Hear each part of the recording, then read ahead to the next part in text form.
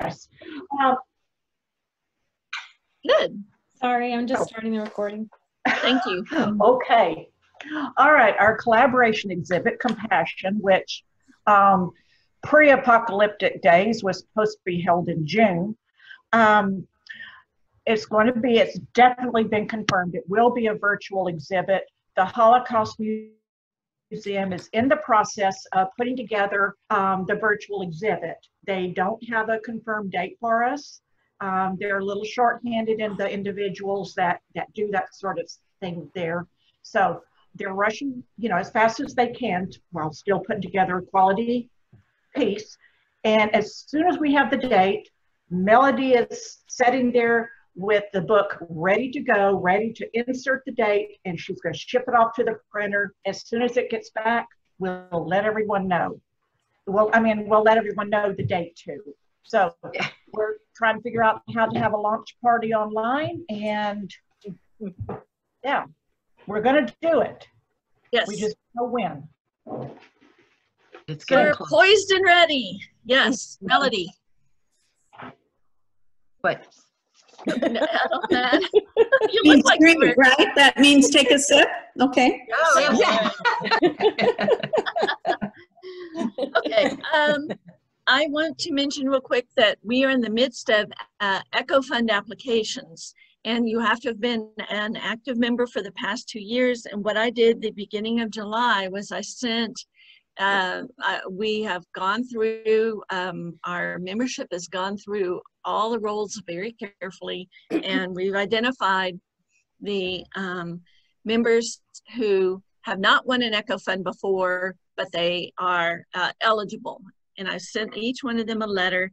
And um, this is a great year to do it. We're still going to do it. We're lagging behind. This would have been in April, but we've waited and now we need to get this done this year. So in September, we will do the drawings uh, at our Zoom meeting. And um, uh, the deadline is the beginning of September. Um, anyone who has questions about Echo Fund eligibility or anything, yeah, let me know because this is a good year. We don't have a huge pool of people who are eligible, so chances are good. And I see at least three people here, maybe more, who uh, got an email from me, and I will resend it and um, the beginning of August because you'll still have one month. Um, the thing I want to mention about that, that one member brought up a concern that they had a great idea, but it got ruined by the pandemic. So uh, if you you you are you need to say what you're what you're thinking you're going to do with the money, but I'd like to have a little um, leeway on that because uh, if things clear up and all like that, and you can do travel and go to another city and go to a workshop or do something, um, you can change your project a little bit. If you wanted to kind of list two possible uses, um, a stay home and a go somewhere that you would do, that's fine too. We just don't want anyone to not apply because of the condition that um, we find ourselves in, in the unknown. Um, hey Lee, for the guests, could, let me know.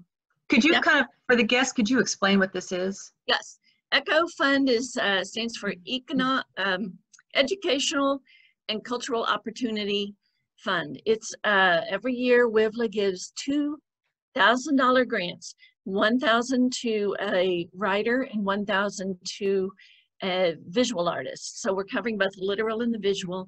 And over the last twenty years, we've given forty-two thousand dollars to members who've applied for ECHO funds. So we're very proud of our record of supporting our members in a significant way where they can take that money and I had a whole list and I think I sent somebody here the list. I'll probably use that in August uh, on whether you travel or you're buying. Now's a good time to buy equipment for your studio, your home studio, make improvements to your home studio, buy um, supplies or any kind of equipment you need to do what you need to do here. You know, if it's ordering things from far away or whatever.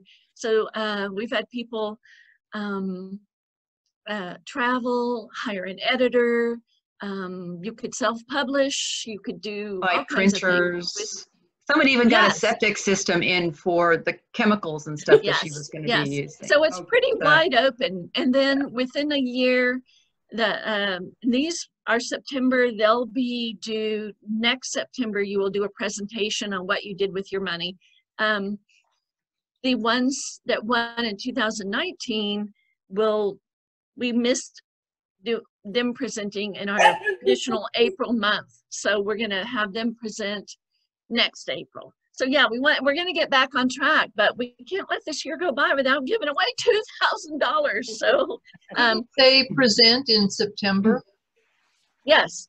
No, the the No. people that win the No, the new, winners the, the Yeah. people from last year could present this September, couldn't they? um It could be a Zoom meeting. yeah, but we really we have four. And so Oh, we're okay. thinking we'll we'll we're gonna if we have them present in April, that will get them get us back on track. Okay, all Get right, some extra time. gotcha. And then the, um, the, this one, next year will be odd, Lane, because we'll have April and September Okay. presentations. But yeah, it's just to give everyone a little more time too. A few people didn't get a chance to finish preparing their presentation for April before everything shut down. So we're just giving them a break too. But that's a really good question and we've thought about how to do this. Anyway, it's a perk of being a consistent member of, of um, WIVLA and keeping up your membership. And we don't want someone to just join, take the money and run. So we kind of, you know, have to have rules. So that's Echo Fund. You'll hear more about it in the, uh, from me directly, since it's not every single member and person who's ever been a member. It's a select group. And if you're, you got it from me, please apply. we got money. Okay. Um, the un- other announcement I have before I turn it over to two other announcements is um, this.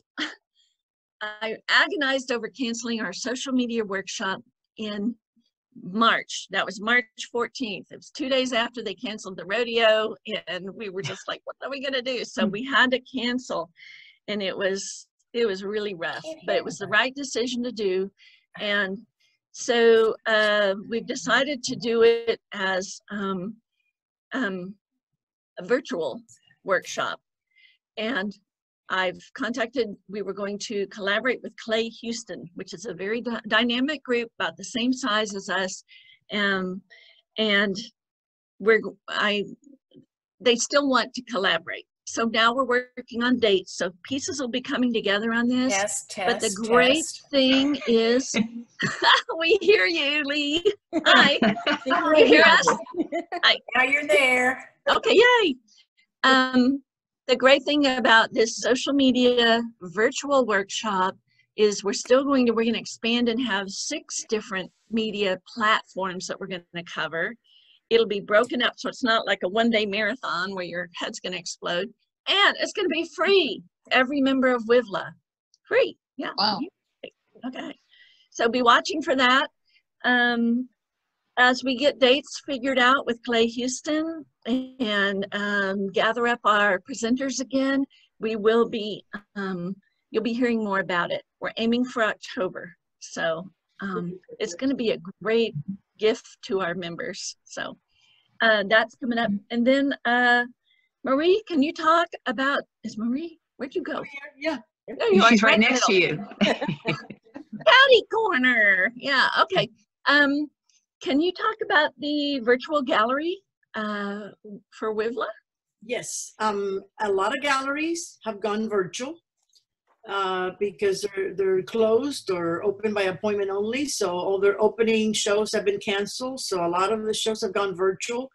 Um, Melody found, oh, I said Melody.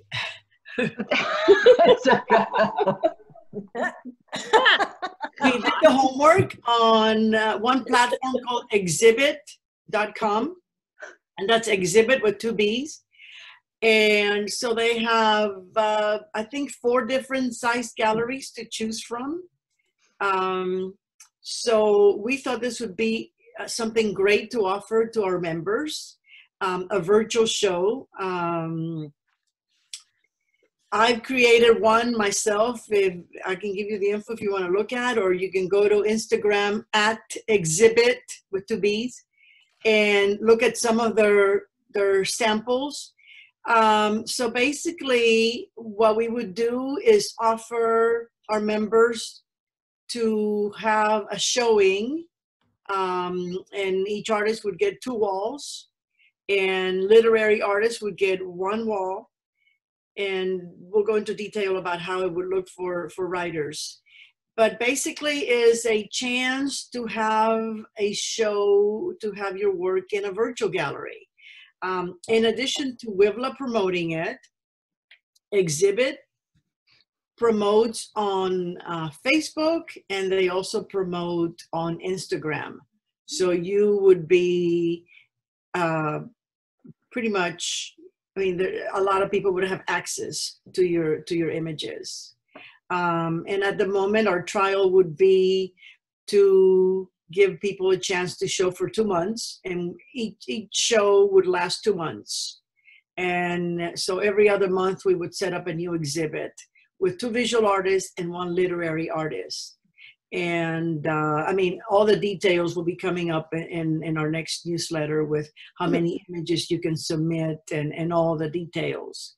So based on the size of your work, you could have seven to nine images um, at any particular show. Marie, And can what- you uh, share the uh, link for your, um, so any, we could, can, people could go and look at it as a great example? Let me see. So while she's looking for it, they also Yeah. have some great tools for sharing images from the gallery on social media platforms. So Wivla will be promoting uh, the images from the, the different artists. Um, you can link images to your website uh, you, for, for, for performance and um, literary uh, artists. Um, you can have links to YouTube, you can have readings and performance and so forth. Not sure I'm sharing yet. Can You any- are. Yeah, I Yeah, see it. yeah, you are. Yeah. So Okay. this is this is pretty much uh, how it how it looks, and you can. Um, so I call my my show Interval Station, and it's based on Vasily Kandinsky's uh, theory of how the viewer and the art can uh, resonate. And so here's my little gallery. I have 17 images and I'll just quickly take you through it. That's so Uh, cool. Great. Oh, I like it. Love it. oh. And so there's multiple ways of of uh, navigating around there. You can kind of walk and and similar like to moving forward and back and up and down and just kind of perusing around uh, the gallery. That's fantastic. So this is a great way to to get your art out there. Um, I've had uh, I've had people find me because of Exhibbit because they they shared it on their on their Instagram on their Facebook. Um, I've sold a couple of pieces. Uh, and then I had to try to figure out, or I learned how to edit and show that a piece was sold. There you go. Yeah, it'll put a red dot next to it. That's So Ooh, this, I love that one. That one. Mary, what, what is this? What is this? this is uh, a platform called exhibbit.com. Two Okay. B's. And, If you and look- with if- two B's, and you can find them on Instagram. Now, if you have a laptop or desktop, you don't have to download the app. You can just view it. Um, and anyway, that's that's my little exhibit. You can use uh, full screen or uh, everything. You do your you submit your details about the medium size. All of that will be done for you. Uh, you just have to submit your images, and we will curate it for you. And we, uh, there'll be some information in the newsletter, like she said. And this week, uh, working with Natalie, we should be able to have uh, the form, the request form uh, on the website. And any questions that you have, just just let us know. I can answer questions. I've I put my first one together, and um, my plan is to do one every other month. So I can every two months I, I I'll set up a new one, and I'll be I'm currently working on the images for my next one.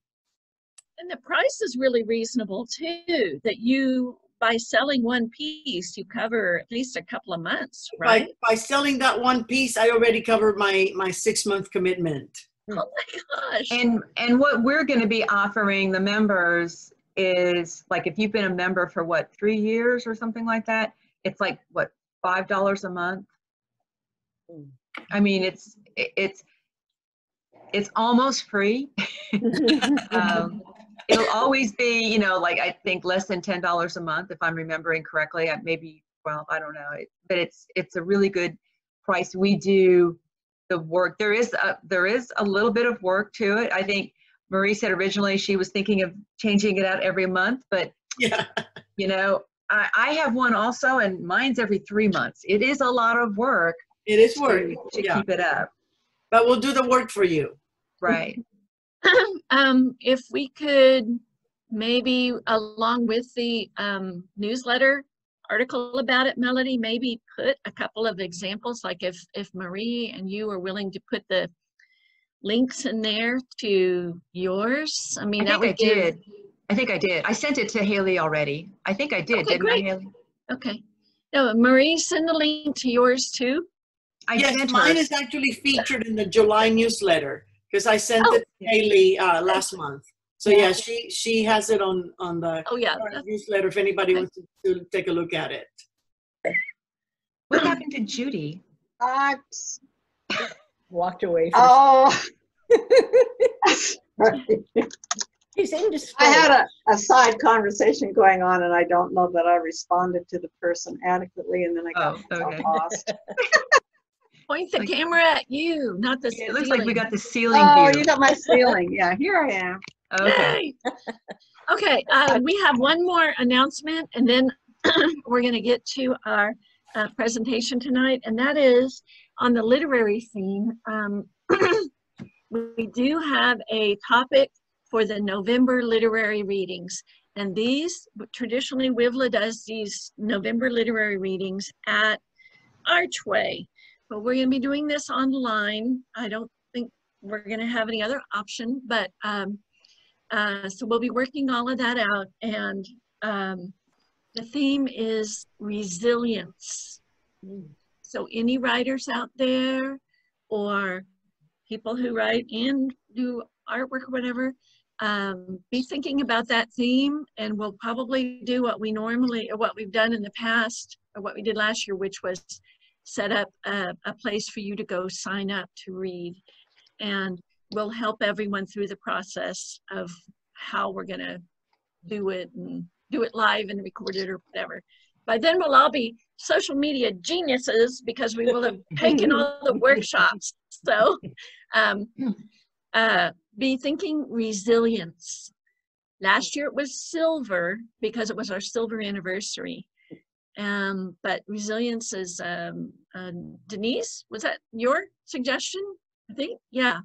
So thank you for that. I think uh, we're gonna get some great responses. All right. Um, if you have technical issues with getting your newsletter or you don't know where it went, maybe it went to your spam or you have some issue with that or with getting MailChimps from us, um, please contact Haley. Haley's in the upper corner, um, mine, yeah.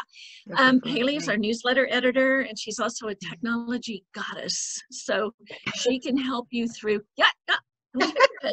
Um, she can help you through issues that you have uh, that, that maybe things are being blocked and you're not getting all of your communications from us.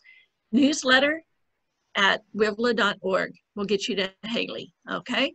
And then if you have membership issues and you're thinking, am I a member? Did I pay? Whatever. Um, you can always check with uh, Judy. Judy's right there. I do so, yeah. um, Judy Shamp is uh, co-chair of membership. The other is Sabina Gart Gartler, but you can uh, write to membership at wivla.org and we can look it up for you or answer any questions you have about the membership levels. Um, so I just wanted to make sure I introduce you to two of the board members who handle these important communication issues. Um, all right, next, um, uh, Melody, are you ready? And you, Uh, you ready? Melody's Yes. our speaker. One more big swig, Melody. Okay, Okay, take it away. So I've known June uh, for a few years now, I, maybe four. I guess I've been a member for about four years. Uh, and I'm always learning new things about her. Um, she's worn many hats during her career. She's been an adjunct professor, which I didn't know. Uh, she's been in technical sales. We'll have to talk about that. And a professional musician. 25 years ago, she returned to art with photography. She's attended classes, gone on photo expeditions, and traveled around the world, including to some of the most striking and famous natural settings. Her work is based on the natural world at a macro and micro level. June's made presentations to art groups in Texas, Colorado, and aboard a ship. Kind of up Karen's alley. She's had uh, five solo shows and has participated in numerous group shows. Her work is included in collections around the country, and she's currently serving her sixth stint on the WIVLA Board of Directors. June, I'm Hello. eager to see what you have. Okay, well, let's see. Um, Haley, can we make me bigger for a minute? Um, you just have to go up to the top corner there, June, right above Yeah. you. And there should be a little tab that says speaker view or gallery view. Okay. Oh, oh, yeah. Yeah, so if Alright, everybody got it. wants to make June the speaker view, you can do it that way. Okay, I've got you in the speaker view now. Now we got, We got you, June. Yeah, we can mute ourselves. Yeah, I can go ahead and mute everyone if that's Okay. okay. Okay, All right, let me come back over. except June. Yeah, don't make me. Anyway, okay, so uh, I offered to do program thinking that I was going to do something uh, like showing my travel photographies from my last three-month cruise around the world. and uh, Lee said, "Oh, I just love your photography, and you could. How do you do that? I mean, you've got such an eye. How do you do that?" I said, "Okay, well, I will try and give that to you. So let's see if I can get going here. And, oh, there we go.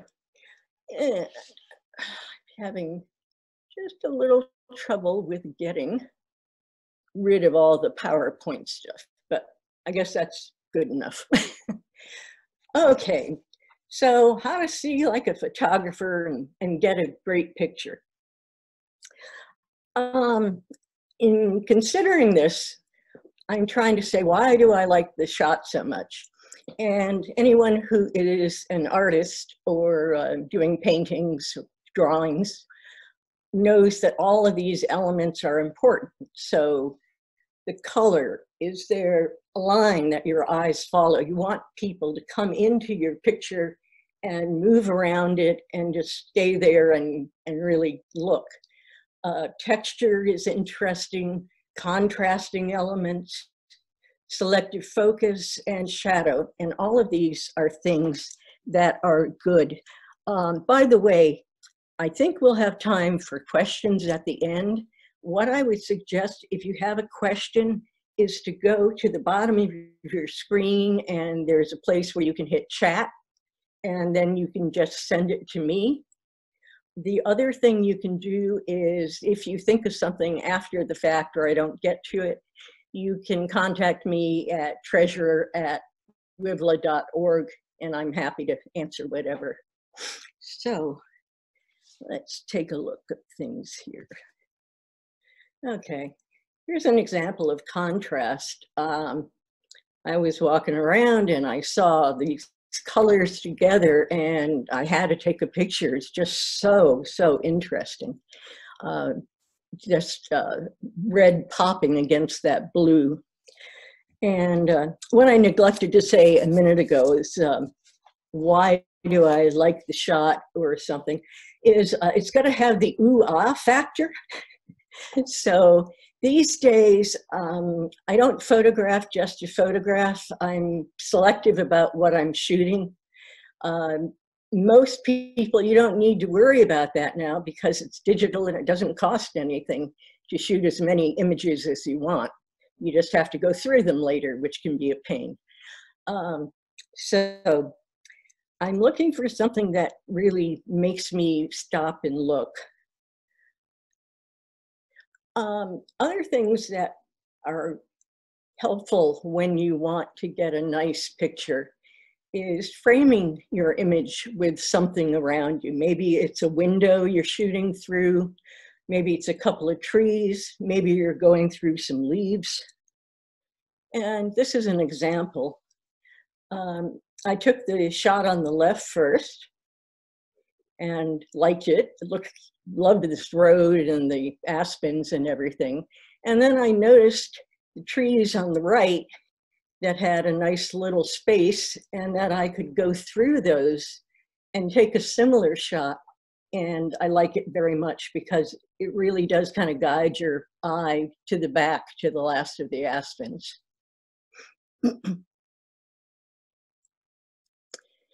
um, this is in Japan using tree branch, beautiful tree branch cherry blossoms to enhance the image of the uh, pagoda-like structure.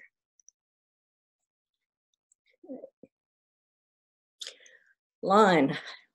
I love taking shots like this that go way back, that are structural and just keep you going and going and going. Okay, this is my most technical slide.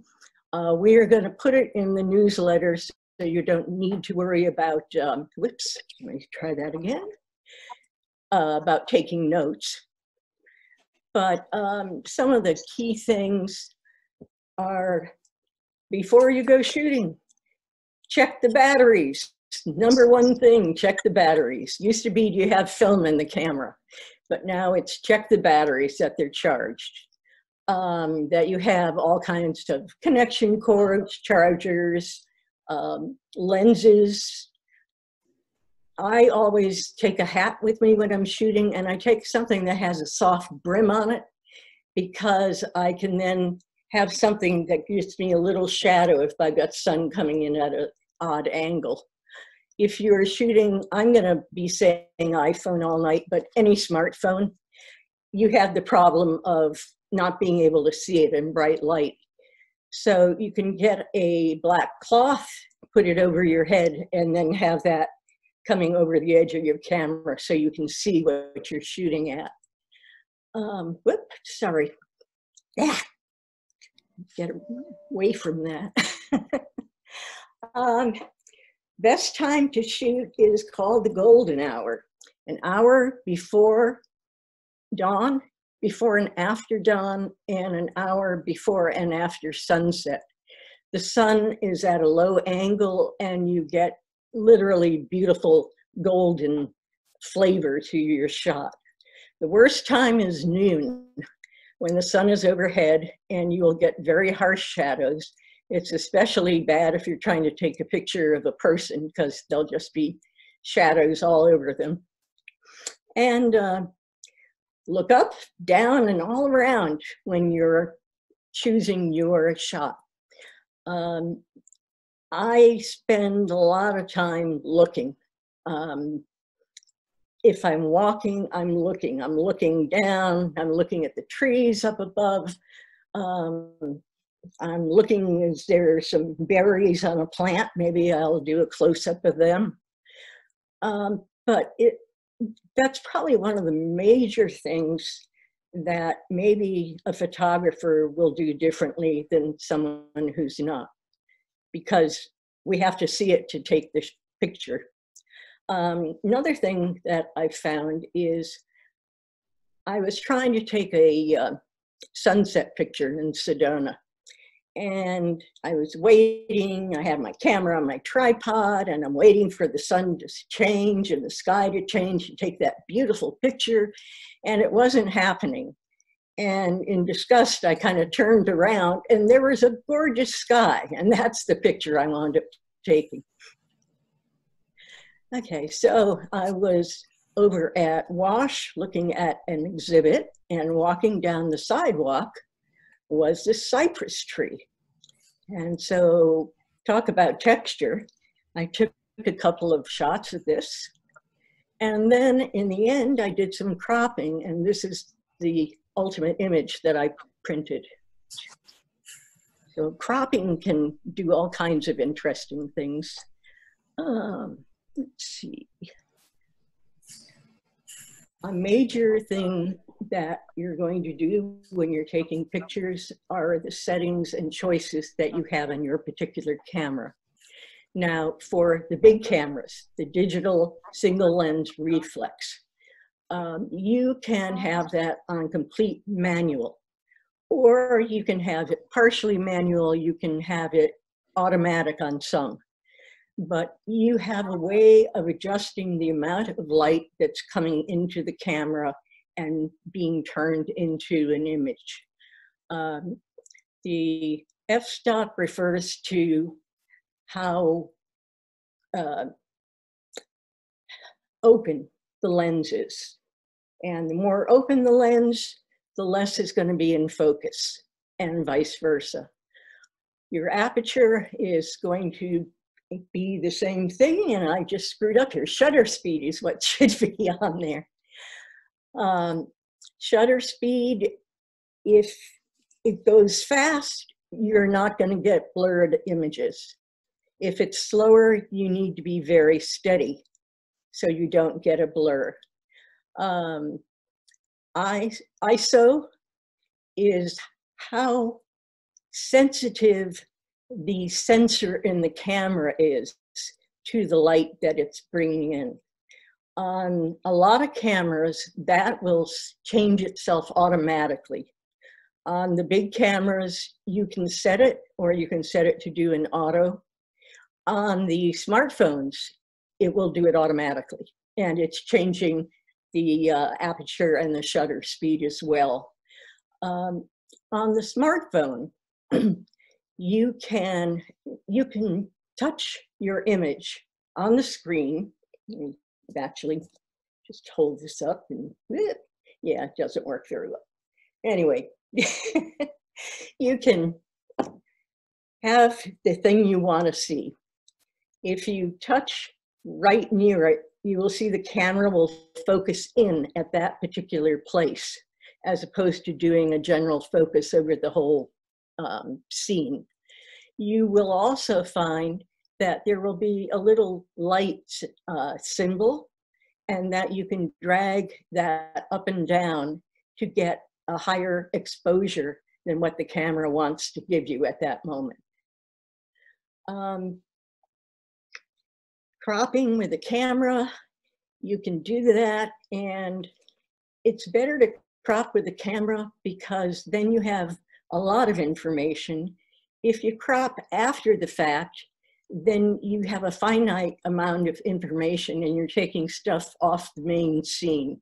So you wind up with fewer pixels. Um, and whether you're shooting auto versus manual, how much time do you have to set up all those um, settings? Um, do you need to control it? Are you taking a waterfall where you have to have a slow shutter in order to get the image you want. okay, this is an example of selective focus.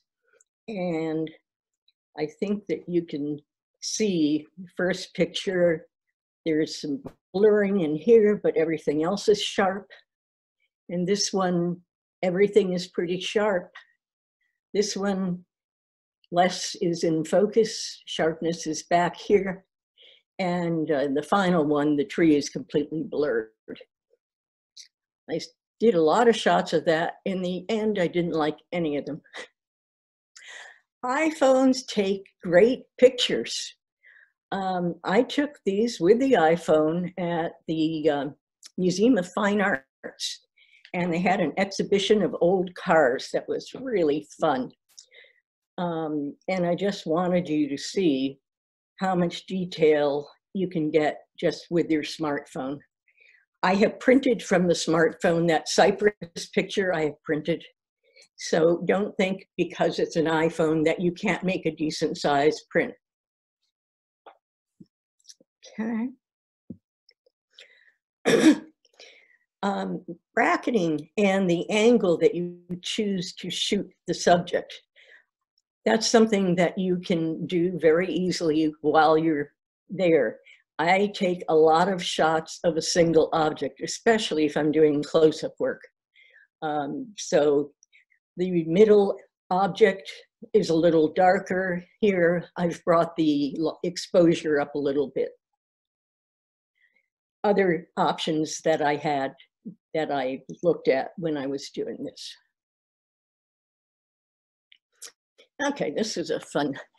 Um, I did take a Holland, a trip to Holland specifically to um, shoot the tulips. And I lucked out and I got there just the right time. And driving down the road, instead of a cornfield, you see tulip fields and they are just stunning. So this is the first shot of the field, you know, stop by the side of the road.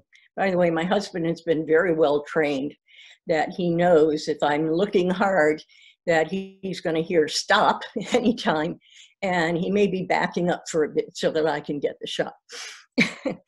so that's the first um, attempt. Now I've taken the whole field, not just the red portion, and you can see there's all kinds of stuff in the back that I don't really care about having in the image. So after I got this home, I did a fairly significant crop and got one of my favorite pictures called Vantage Point.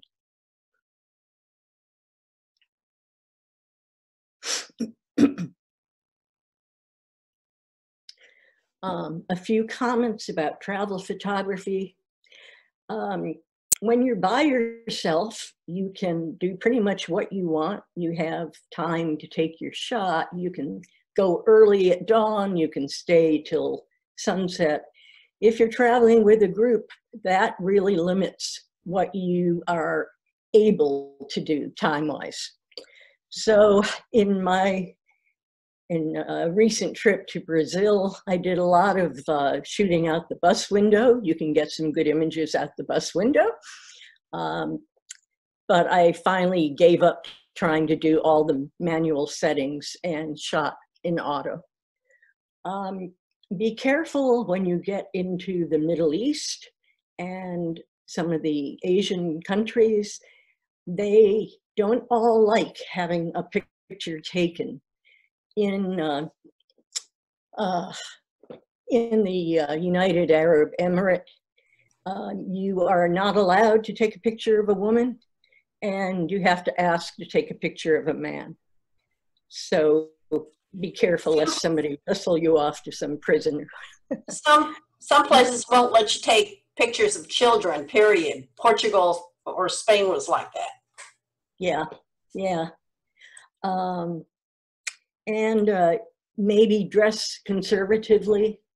And uh, as soon as you get in the Arab countries, be prepared to uh, cover your head, take your skirt kind of long, cover your toes. It's quite amazing. so ask and check out what the customs and the rules are for a particular spot. Um, a couple of tips. If you can use a tripod, do it. Um, I have a, a mixed love affair with my tripod. I hate taking the time to set it up, but I love the pictures that come from it because I will be absolutely stable.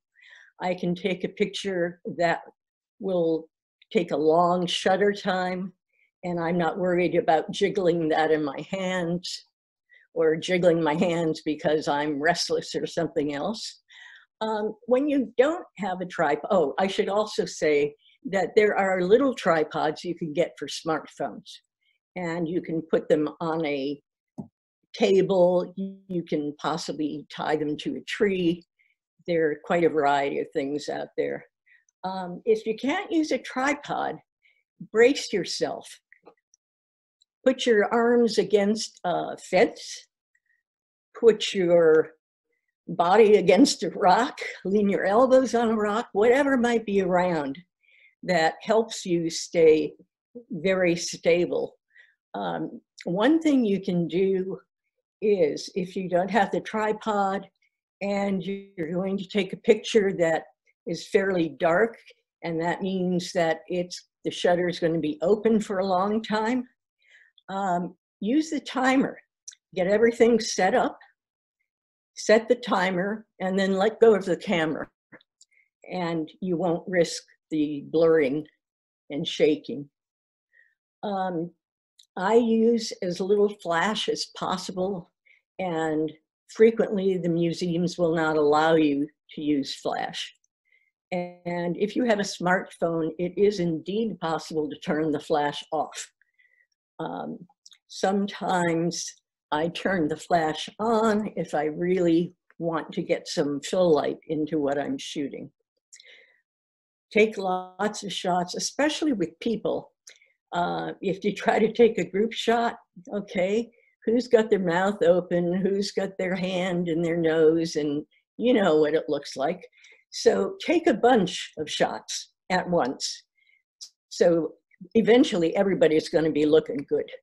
Um, both the little cameras and the big cameras have the capacity to take multiple shots very quickly. So that's there. Um, shoot a lot, delete it later. Um, I think I took 4,000 pictures on my three month cruise. And uh, it took me two years to go through everything and delete everything. And by that time, I was rather tired and probably took the next year and didn't shoot more than 100 pictures. Um, but you've got it. You don't necessarily have to edit a photograph. It can be fine just as it comes out of the camera into the printer. But if you do need to do something, you have the capacity of Photoshop. You have a uh, miniature Photoshop in iPhoto. There's tons of apps that will help you create interesting effects with your picture or correct issues. okay.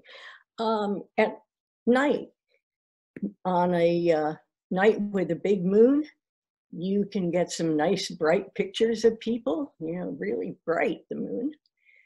This is us sitting around a fire pit and really nice um, light coming on everybody. You can also get that with candlelight if you have enough candles. That's my husband, by the way. okay. Oops. All right. I'm out of order. That's okay.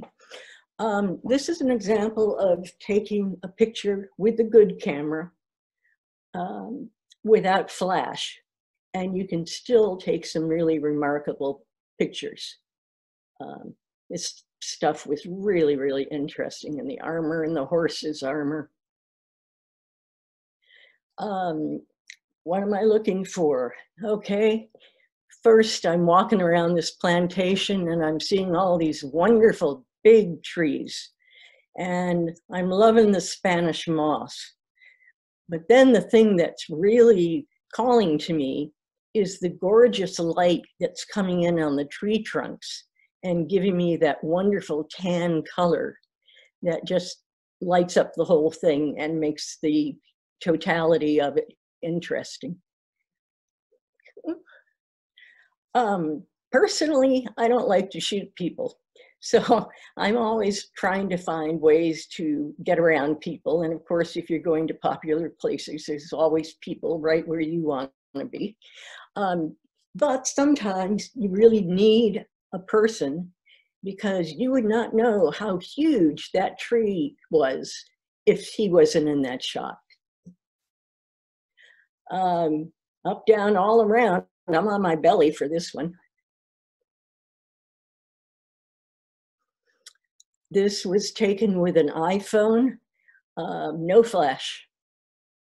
Great image. Okay, lots of pictures out the bus window. I, over here you see graffiti and it's almost always tagging and stuff, but this was in a, a cruise around South America. And the more graffiti I saw, it was all artwork. It was really cool looking stuff. So I started doing a lot of shooting of graffiti. Okay. When it comes to sunrise or a sunset, you know, we talked about an hour before and an hour after. So when I've gone on photo expeditions, they get you up before dawn and you drive to the spot where you're going to photograph and you need your tripod for this and you get everything ready and as soon as the light starts coming up you take a picture and you continue taking pictures for as long as you think it's interesting and the light will continue to change like i said most of my pictures are sunsets so this is the start of the sunset, and the bottom right is what it looked like at the end.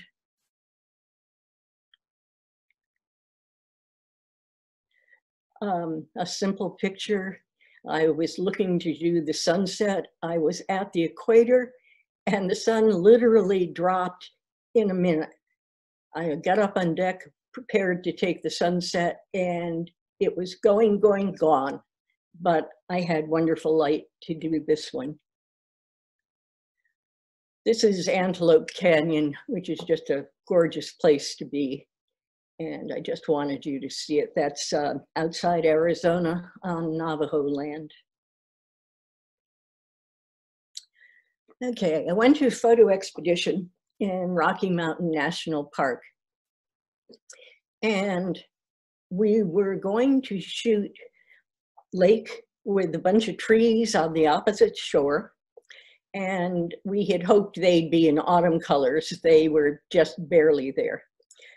But we started walking up this very, very slight incline. And uh, being from Texas at sea level and trying to walk at 9,000 feet, I was having a lot of trouble. So I'm walking a few yards, stopping to pant, walk another few yards, stop and pant. And by the time I finally got to the lake, everybody else except for one guy had set up on the prime positions to get the shot of the lake in the big wide picture. So uh, I set up and tried to shoot interesting looking things that I saw on the lake and came up with this shot. It's called A Moment at Dawn. And I, I guess it's the line. It's certainly the color. I'm always drawn by color that makes this picture special to me. This was the same day, almost the same, same place, a little later during the sunset when the sun has come up. Hello, oh, please leave a message after the tone. And these are three rocks that are in the lake. You're seeing the reflection of the rock on the bottom and reflection of the trees in the water. It's called When Rocks Dream. Looking around all the time, walking in the woods, looked down at the stream and there were these gorgeous rocks with lichen on them making these wonderful colors. Cropping and going close on things. This rose became the start of a series I did called Natural Beauties Beyond the Petals, in which I did very, very tight shots of flowers um, abstracting them in many cases. This is another image from that series. And I put together a little blurb book of that. And don't be afraid to shoot in bad weather because a gray sky gives wonderful contrast to color. And this particular, I was lucky, the sun is shining on that rock. I've been looking at that rock for years, wanting to get a good picture of it. And this day, the sky and everything was just right. Okay. And I think, oh, this is a castle in Japan. Had to get a few foreign pictures in there. Um, another example of needing people to see how big something is. That was a huge Buddha. And this is Singapore. A lot of the Asian cities have the most interesting buildings. They just are so different from what we've got going. And the um, bottom of the left-hand picture, I think that's the Science Museum. What looks like a boat on the top of those three buildings is actually a casino, and I think there's a pool up there. So just interesting things. And this is inside a mosque. And again, line, light, contrast of light to the dark. Oops, and I wasn't going to show you that. Okay, I'll show you this. Um, I started getting interested in, in something totally different. And so I've been trying to put together a series called uh, Invisible Frequencies. And this is an example of two shots that I'm doing. I'm having fun with it. It's so different. But anytime there's a chandelier or uh, lit up glasses and stuff like that, I'm taking pictures and having fun. So with that, I will stop sharing. Questions? Thanks, June. I think we have some in your chat window. Um, there's. Oh, yes, let me look. Oh, yes, I do. That was, that was great. Thank you so much. Oh, thank you. Okay, Corey. The Laird Rock, Corey, was on the way from Santa Fe to Pagosa. So just uh, actually above the uh, oh lane, the Georgia O'Keeffe Place uh, Ghost Ranch, right around there. Okay, okay printing. Um, I, I can tell you anyway. There is somebody that was recommended to me, and it's Paul's Framing. He's downtown. Um, I'll talk to you about him sometime, but he's done a lot of framing for me lately. And his prices are a lot better than the people I used to go to who are doing framing for the museum and things. This, he does printing, fine art printing? Oh, oh I'm sorry, printing, duh. uh, let's see, fine art printing. I have to remember the name of the place, but I'll get it to you. Okay, I was just curious, too. yes, a single-legged tripod is a monopod. And a lot of people use them successfully. I've never had a lot of success myself. Okay, there's the answer to that. uh, the bark is not a sycamore. It, um, it really is a uh, cypress, I think, because the rest of the tree did not look like a sycamore and bracketing. okay, bracketing, when you have the serious camera and you're shooting in manual, let's say you're, you've set it and your light meter shows that you're right at the right, right place to get the proper exposure and the good picture you're hoping for. Bracketing is after I take that initial picture, I will add some light to the camera, allow more light to come into the camera and take that picture. And then I'll go the other way and allow less light to come into the picture. Now, originally this was done for slide pictures. And with um, digital, you really shouldn't need to do it. but I still find I like to do it just up there. Hey, June? Yeah. Um, I do that bracketing um, with my smartphone uh, when I'm shooting pictures because, you know, it'll, it, it's on auto, but that little bar on the side where you can go lighter or darker, I'll do one above and one below, or Good maybe point. a couple of them. And why not have a few to choose from? So Absolutely.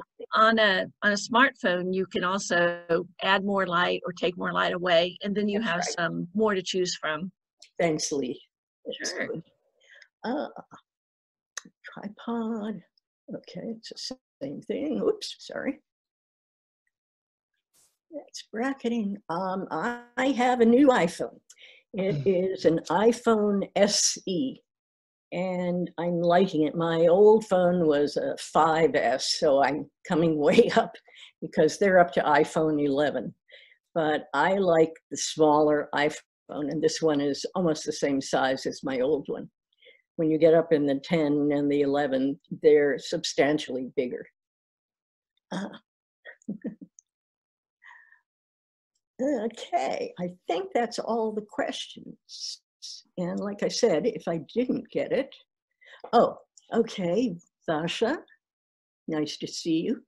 Um, depending on what you're coming out from. If you're, you can use Photoshop on pictures from your big camera, certainly. There are other platforms out there that you can Google and find. I really only use Photoshop. Um, Adobe also has come out with something that's almost the same as Photoshop called Lightroom. So that's another potential thing. Um, let's see, what am I doing? Um, editing, printing tools. Okay, printing is challenging. Well, let me go back to editing because in it, I have Apple stuff. So when I bring pictures in with Apple, it puts them into Photos. And Photos has its own editing platform that has quite a bit of stuff that you can do. You can tell it to do a manual edit, but you can also direct that you want more saturation or less or something like that. And uh, let's see. Oh, the other thing I was going to say, and this is the challenge. Um, in order to get what you want from the camera shot to your computer screen to the printer, you need to calibrate things. So you may or may not have calibration capabilities in your equipment that you have. Um, ColorMunki is the name of a uh, product that has the tools to help you calibrate. And there's probably somebody else by now that's got something going. But that's the ultimate thing. what does And- calibrating do It means that you're seeing the same color, that the colors aren't shifting when you get the print out of the printer. Yeah, that's always distressing. Uh-huh. yes, absolutely, absolutely. Uh, yes, Karen, uh, you could use a polarizer to eliminate glare on bus windows. I think that would work. Um, let's see. I asked you something, um, Jane. Sorry, It's back a a couple. I see it. Yeah. Yeah. Inexpensive phone tripods are great. No, the next, further down, that one is, um, I have a, um, semi-automatic, it's a Lumix. Uh-huh. I do not, I can't figure out, even using the manual, how to use most of the stuff on it. I get a, it, it, things pop up and I'm like, where did that come from? Like bars around it. And I'm like, well, I didn't do that. Where, you know, uh, I need some. You have to read the manual and play.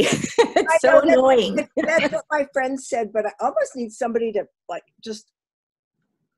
Sometimes I, I just, I can't figure it out. I have played a little bit, but hey Yeah. rona Yeah. There, you could probably go to the website for the manufacturer and everybody has a bunch of like how-to videos Absolutely. now. Yeah. So you could probably find some tutorials on the website for the main, the brand of the camera. Or maybe Yeah. even you just Google it and everything's on YouTube. So there might be, have uh, you can yeah. watch then somebody's tips rather than trying to read it in the manual. It's hard in the manual Good manual. idea. This is my second Lumix. The first one, um, Panasonic, the first one, the screen was getting a line on it, though it still works. Okay, Rona, is that just uh, rectangular? I mean, it's, it's, how thick is it? Not very thick. Okay, No, it's, it's a little thicker than um, my old one. yeah, the 35 millimeters, yeah. This one is a, um, no, my old one was a regular, was a, this too. It just says, this is a newer version and Mhm, it has more on it. mhm. I can do, you know, I can do videos, I can do whatever. Um, Yeah. And, oh, and the other thing it does have is has a viewfinder. Yes, you're Uh, lucky. Now, I stopped getting the uh, cameras because the last camera I had had a viewfinder on it, and after that, I couldn't find one. So This you- one has a viewfinder. you're lucky. You're picked it lucky. for that. You don't always, it also has one of those little screens that flips up to try to, I have a s- suggestion about traveling. Uh, what I do when I'm traveling is on your phone, you can set the location wherever you are. So if you're taking a picture in Katy, Texas, or Timbuktu, Idaho, uh, it will tell you down to the street and everything. And so when I'm taking pictures, even with my camera, my good camera, uh, I take a picture uh, with my iPhone just to nail the location so I can look back and see where that location was when I'm seeing the pictures that I'm processing from my camera. Great idea. Um, on my iPhone, it automatically puts that information there. yeah. Right. It's a it's a choice. It's a choice setting, but most of them people don't know that they have that on there. Yeah. Okay, any more questions? I thought Corey had one about the location of the cliffs with the dark sky. Yeah, I, I answered that. Was that Where was it? that um Echo Can uh, uh, Yes, Echo Canyon? That's Yeah, Echo Canyon. Years ago, when I took my first painting class, the one that I did with the Wivla grant, Okay, There you go. I recognized it. it's a, it's a cool spot. Uh, Anybody June, what, what kind of printers do you have at home? Okay, I used to have an Epson printer that could print something 13 by 19 Oh wow! and uh, had all the bells and whistles and adjustments you could want. The problem was um, we have a second home in Colorado and we usually spend four or five months there a year. And so the printer is not being used during all that time and the ink dries up and then it dried up enough that it won't even come out the nozzles to clean them or anything. And so uh, I wound up just getting rid of them. I'm sure there's other Epsons that are really good out there. They were known for good color. They have lots of options for uh, what you can print on. Um, and uh, also guaranteeing a uh, the longevity, like a hundred year longevity on their materials. I've always had Epsons and I've been really happy and I've kept them for a long time. And I have that wide format too. So I'm about to write a note saying, "Ah, clean those nozzles. yeah, I've got a, uh pretty cheap uh, HP right now, so. So I'm going to a printer melody if I want something that I know will be really good, and I will think of their names. But Yeah, I- you know, I used to, I used to use um, uh, AZ, which became Acker Imaging, which I think it's still Acker Imaging, but he doesn't, he used to process my 120 film because I'm really lousy at processing 120 film. Uh-huh. So now I have to bribe somebody. I think um, it's the same place. Is it? uh, Okay. Just off of Shepherd. On just above Lillian, I-10. on Lillian. Uh, Yeah, Lillian off of Shepherd, it's just Yeah. south. Yeah. Uh, Yeah. okay. Oh, Yeah, I used to use um, H and P, but then they stopped doing anything but uh, yeah, HPL. Sorry, Houston Yeah. Photo Okay. Lab. But then they stopped doing anything except for big jobs. And I also used to use a printer in Arizona because I had gone to expeditions and the leader was from Arizona and he had a printer in Phoenix and I used them a lot, but they have now gone to minimum dollar amount for printing. So it can get challenging. Mm. Yeah. Thank you all. Thank you so much. We appreciate Hey, appreciate let's give her a round of applause. Yay. Thank you. Right. um, we have uh, uh, June. Um, we really appreciate this. This has been fantastic. Um, let's get some more of your beautiful images on our Facebook pages. Anything you want to share, please um, go ahead and put it on the member page. Mhm. And uh, really appreciate you taking the time to do this for us tonight. So You're very welcome. itching to get out there now and take some pictures. um, have to run we do out. have a, a few minutes for member news, just a few minutes, and we had decided in our board meeting because we're these meetings are getting bigger. Um, we'll just call on a few people and be a minute and a half. So um, please, yeah, keep it short. And then anyone who wants to, I don't know, is that okay, Haley, if people hang around a little bit and if they Oh, want yeah, it'll keep running until we're done, so. um, um, we do have, before we get into um, a couple of announcements or a couple of uh, shares and then just go to chatting and taper off from there. Um, Gretchen, are you still, are you still with us? Is Gretchen still on? Yeah, she's over Yes, here. I just unmuted. Uh, There you are. Okay, wait. Okay. Um, uh, Gretchen's going to announce our speaker for next month. Now, next month will be August. Oh my gosh. So she's already got somebody booked. Okay, this person, her name is Megan Shepherd. Um, her mom is my best friend. We've known each other since our early 20s, so over 40 years. We were pregnant together. So I've known I've known Megan, her daughter, since before she was born. She's 35 years old. She is a belly dancer. Um, she has she went to school for art. Um, she loves to draw anime. She uh, but belly dancing is she's been in karate since she was a little girl, so she's always been interested in movement. And since she's uh, she lives in in mid Minnesota, so who figures there's a strong belly dancing group there. and she has she has studied with um, I don't know if anyone knows anything about belly dance. She studied with Rachel Brice, um, who's like you know woo big in the in the world.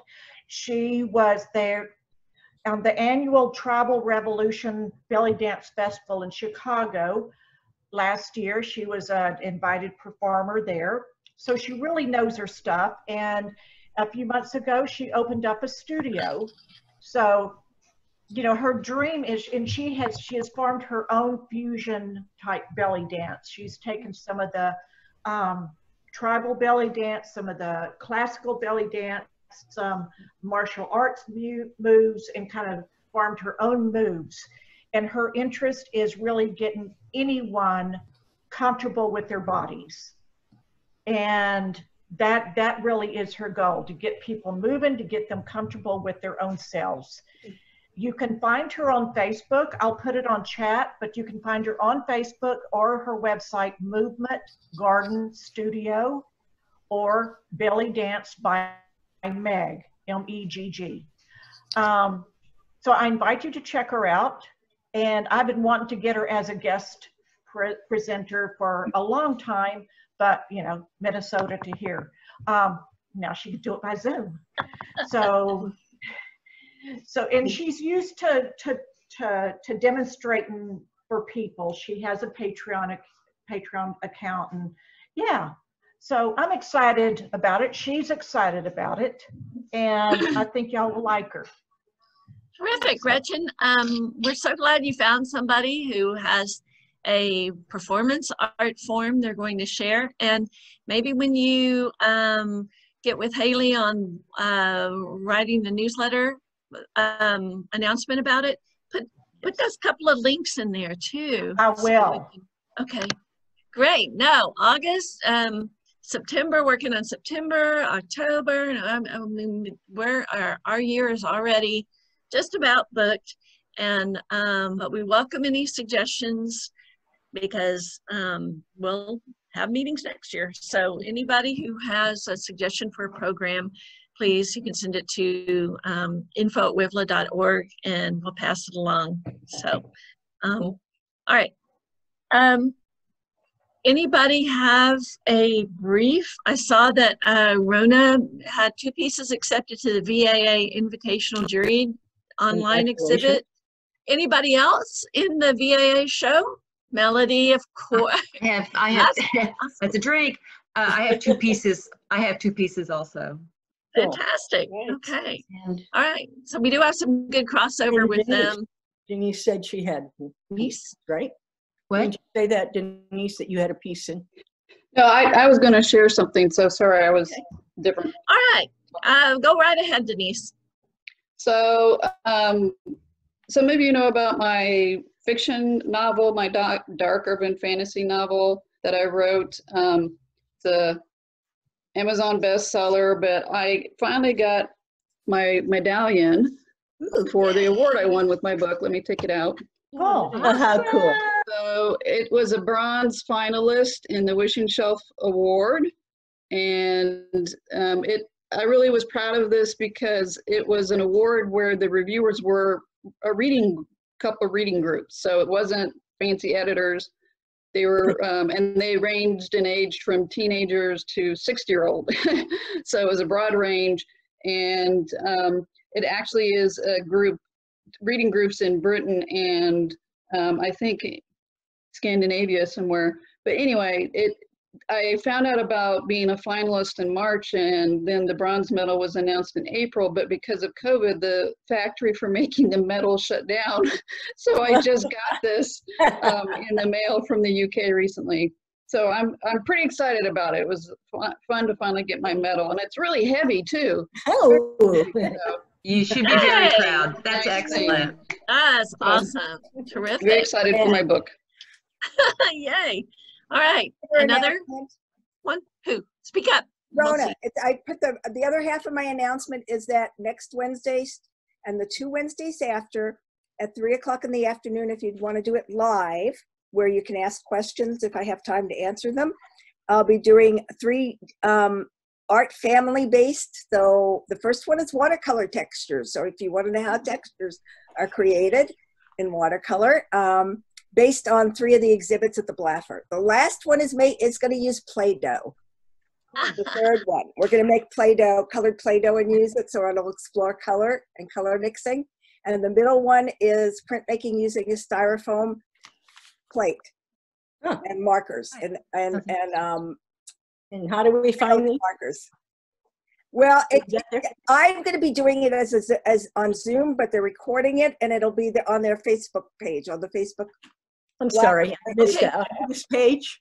on the on the Blaffer Art Museums. Blaffer, Thank you. All right, So- um, Rona, you can share that on the, the Facebook member will. page. I Be sure will. and do that. Okay, so we We've can been go. doing Okay. it. since- We've been planning it since June. It was supposed to be the beginning of July. For, finally got the technology figured out, and that's what that tripod's going to be for my phone, so that I can record in my studio. I had to get a booster for the um, for the internet too. Otherwise, I couldn't get it out there. Mm. Oh, Not not at Terrific. Sawyer. That that's I can't. I don't have any in my garage room studio. So you'll see my garage room studio. It's kind of a mess. very cool. Well, that's terrific. Okay, who else has news? Let's do a couple more. Somebody else? Gretchen, what? Gretchen got a Oh, oh. Share it. Yes. Yeah. At Winter Street, where me and Maurice share a studio, Uh, we have just recent, all of the artists have recently been invited to share their, put their own art outside in the hallways, which usually doesn't happen because there's exhibits going on. Well, so we each put two pieces out there and I got an email today. This gentleman saw one of my pieces, one of my pieces that, um, of an old photograph of a woman and I had made up some stuff about being strong and resisting and when you're knocked down, you get back up. And he was really attracted to that and he wants to give it to his daughter um, for her birthday uh, to just to, to to kind of like encourage her to be a strong, independent woman. Cool. So we talked about it for a bit and we decided I'm going to do another piece in the next couple of days with again an old photograph in the same style but with a younger woman. So I've already have the you know everything to do it with. So yeah, I'm excited. I'm excited that I get to share a message that I feel so strongly about with a young woman and this her father is encouraging her to be that way so yeah I- it's great. just it's That just is- really cool Yes. Mm. So you're still you get you're getting people walk through the the studio building. They're open. Yes. Yeah, they're all yes open. um yeah the buildings are open uh this last was it this last saturday the second saturday the officially we had open studios however most of the artists including marie and i were uncomfortable opening our studios but we have a sign on our door for people walking through saying if you would like to schedule a private audience you know just Yeah, we do too. yeah we can we can certainly set up private visits you know with mask and sanitizer which we have plenty of both and to either for them to look at our art or discuss commissions Very cool. so yeah so i was excited It's great. Other Thank news?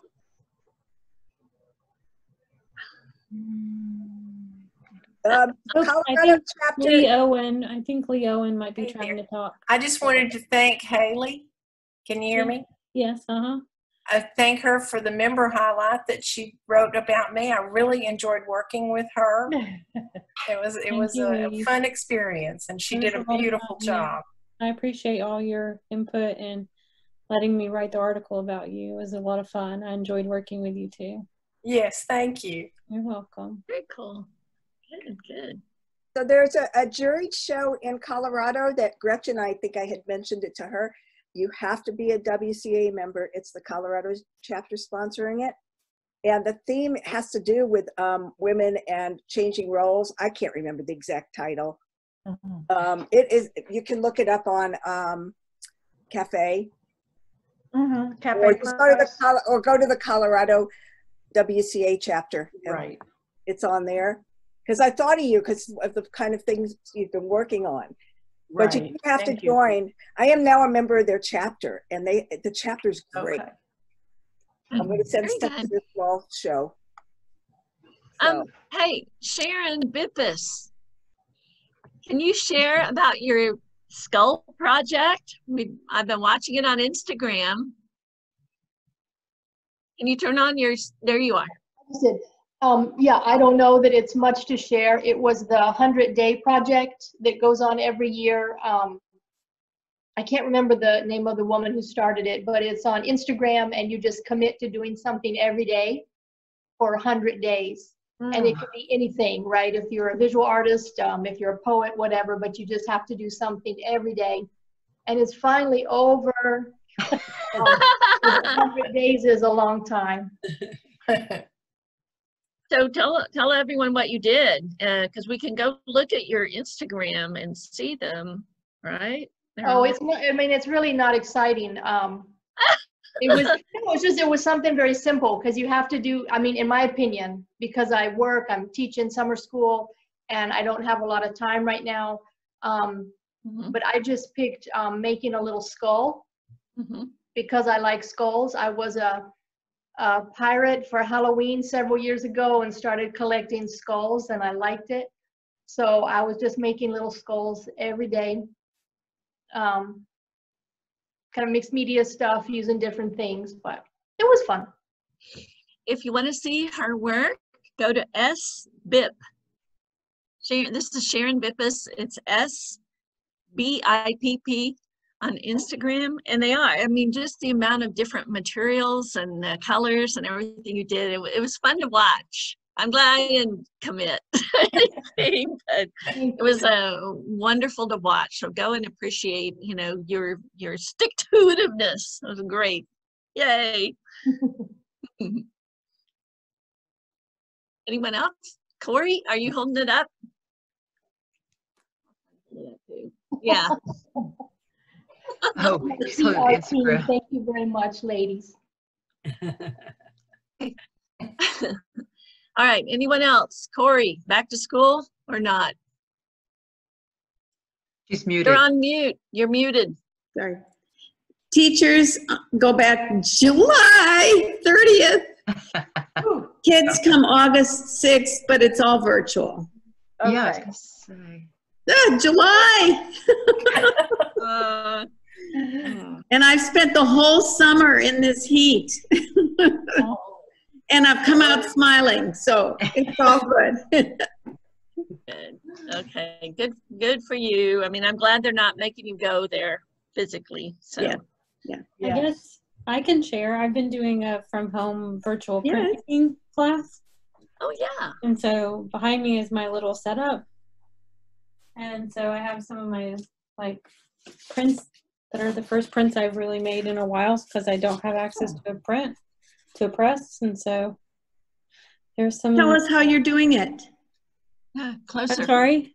Tell us how you do it. Oh yeah, so the teacher, like, it's from the Southwest School of Art in San Antonio. And we're using these plates to do monotypes. Can you see what those are called? I don't know if you're familiar with those. So we're using those, and so we are also using Charbonnel Aqua Wash printmaking inks. Um, so that's what I did with these. And so you're just applying it just like a regular monotype would, would be. And then you have to take a wooden spoon and rub it all around there. I tried like the metal spoon, the barens, and the wooden spoon that was from the dollar store worked the best. So go figure. But yeah, that's some of the stuff that I've been up to. So those are some of them. How neat. Oh, Fun. So, I love that. yeah, so we're learning how to do, I've got to catch up a little. I've got a collograph, so we're going to be doing that this week. She just showed us yesterday. So, Can you show the, the first thing? Show the first thing. sure. The, the plate. The print or the plate? The plate. Okay. They're, I got them from mm-hmm. Dick Blick, Okay. and the company, it's called Grafix. So you can put the put in- ink on that? Yeah. So when you take it out, like you can cut them and make them whatever size you want. So these are 8 by 12 sheets. And then you just pull the little blue plastic film off and it's clear. And then you just can reuse them over and over as long as you're not oh, it's- like It's it, is it basically like a sheet of plexiglass? Because that's what I've used before. it's really thin. But the thin one, yeah, it's a Yeah, very it's super, one. super thin. And Because you couldn't cut the plexi. But if anybody has old plexi for framing, yeah. that's the You right can also, size. the one of the processes we're going to learn is how to do basically like intaglio and dry point on these too. So Uh-huh. that's kind of cool that it can, it's that versatile. I, I've cut with a tool into plexi with a um where you yeah. uh, but that I it it yeah with a, a I forgot what the tool is, but Yeah, I've got one. Like I have my old like dry point needle from when I did printmaking. that's back what it is. Yeah, it's a dry point needle. yeah. Just you can use it into plexi too. and Yeah. Haley, can you show the, the ink that you're using? Hold up one of that. I, I Those are didn't good That- that's a It's kind of- actually really, really good, and it really does remind me a lot of using actual printmaking ink. Mhm. But it's non-toxic and it's water-based. Can you guys see that at all? I think I'm a little glare. Mhm. But it's a French-based um, printmaking ink. that's a probably a much better ink than like the ones I I used, which were the um um the common ones, but the water based. Oh, what's you know it's Speedball oh, or whatever. oh yeah. Yeah. Yeah, I've used those too. So I've learned a lot already, and it's only been this is week three, I think, that we're on. So it's quite fun. So That's a neat I'm class. enjoying it. I'm sorry. That's a really neat class. That was at the Southwest. Yeah, Southwest School of. Art in San Antonio. So they had a bunch of drawing class. classes. So that's the one I chose. So anyway, that's what I've been up to. Yay! what else? Anyone else? We're about to wind things up, and if you haven't had dinner yet, you know you need to put something in your stomach if you're gonna hear the name Melody anymore. okay. So there, there. Three. Okay, so everybody has things to do. Go check out Marie's um, um, exhib- exhibbit.com. And um, yeah, and, and everybody. Check out anything you- Movement Garden Studio. Yes. And um, yeah, Movement Garden Studio. And uh, please, everybody who is a member is able to post on the WIVLA Facebook members group page. Okay. So, uh, and I just changed the banner on our public page because we were having a lot of confusion over which is which and all. So now you'll see a new banner on the public page and on the group page, you'll see the, the metal um, uh, logo that's the brush pen still. But the, when they both had it, it was a little confusing. But please share anything you want us to put on the public page, send to info at wivla.org. All of the board members are available to help you with anything you need. So, um, you know, call on us if there's something you want to see or something you would like to share. Um, let us know. Uh, Haley has a deadline of, uh-oh, was it yesterday for the newsletter? Oh, yeah. I, I haven't been really hard and fast with it since uh, COVID. So if you have something, you can still send it to me. Okay, I want to send something. Yeah, please Okay, do. all That's right. fine. Fire- Corey has her fire 'em hand off. up. And Corey has a question. Bye, Lee. How, how's everybody doing with zines? I've got to get started. Yeah, Yeah, you get guys get started. going on that. Yeah. Yes. Sketching out ideas. Yeah, Okay, thinking. um, go- Download go a take look template. at- Go look, take a look at Ann's and, uh, you know, combination of artwork and typed information, you know, so yeah, you can do it all by hand or, or whatever. So, um, yeah, Okay. it doesn't take long. Once you make one, you'll want to make another. Right, Corey? Okay, that's it. Okay, Bye, bye. guys. All right, everybody. Thank Bye-bye. you. Good night. Thanks, everyone. Hi, Josina. Hey, Josina, Patty. good seeing everybody. Bye. Okay, Bye. Thank you. You're welcome. Bye. Thank you too, Lee. Bye. Thank you. Thank you, Haley. I appreciate all your work. Oh, yeah, sure. No problem. It's Okay, been I'm going to dinner. I'm gonna, I'm gonna heat something up. All right. I'm going to end it. night. Bye.